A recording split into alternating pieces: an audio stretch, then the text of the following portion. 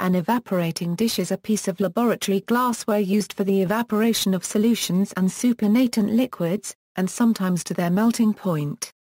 Evaporating dishes are used to evaporate excess solvents, most commonly water, to produce a concentrated solution or a solid precipitate of the dissolved substance. Most are made of porcelain or borosilicate glass.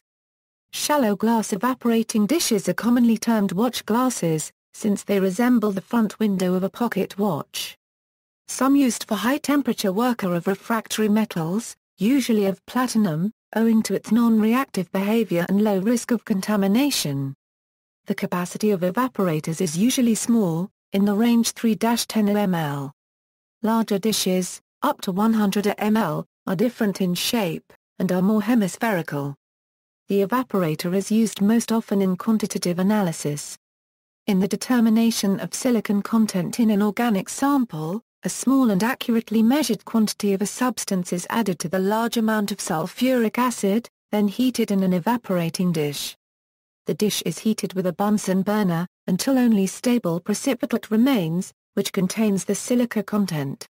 The dish is then closed and heated at high temperature until completely clean, fused silica is produced. Comparison of the initial weight of the substance and that of the fused silica allows to the content of silicon in the sample to be determined. The shape of the evaporating dish encourages evaporation in two ways, the shell is relatively flat. A relatively large liquid surface promotes evaporation. If heated in a flask or beaker, a part of the evaporated liquid condenses on the vessel walls and flows back into the solution. This does not happen in a dish. When heating liquid in an evaporating dish, the low walls encourage splashes and so stirring or swirling of evaporating liquids is considered bad practice, owing to the risk of spillage.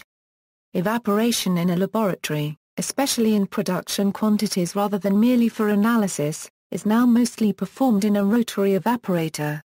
This is preferred because it works much faster and may be used under vacuum avoiding unwanted reactions with the atmosphere and allowing control of noxious fumes. Evaporation under vacuum also reduces the severity of bumping and violent ebullition. See also, crucible, notes.